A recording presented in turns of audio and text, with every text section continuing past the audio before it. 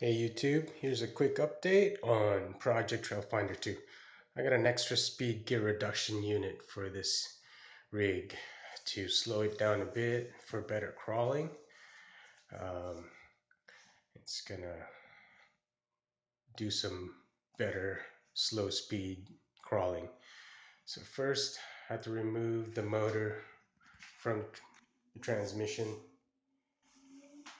and then I'm gonna have to attach the included pinion gear to the motor shaft and then install it into the gear reduction unit.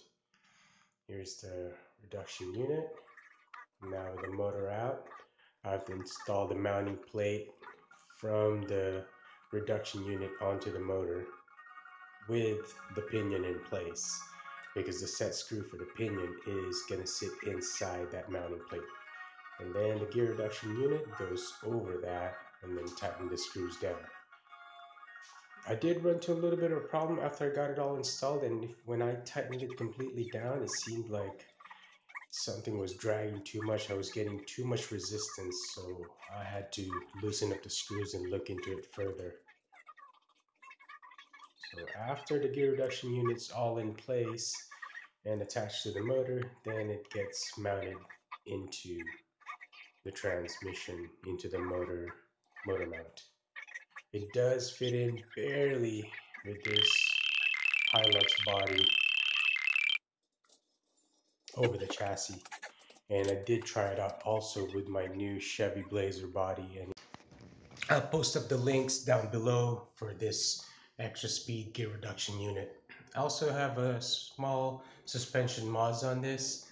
I right here, I am adjusting the motor, the tightness of the gear reduction unit attaching to the motor.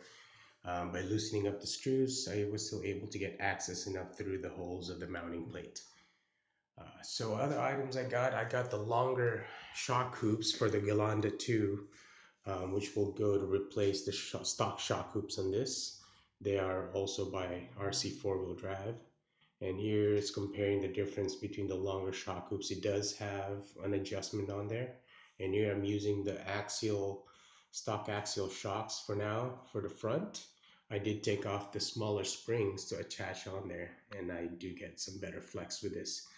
So that's it for this quick update. Thanks for watching. And as always, I'd appreciate a subscribe, like, share, comment. If you have any questions or if you have any other tips you'd like for the Trail Finder 2, I'd appreciate it.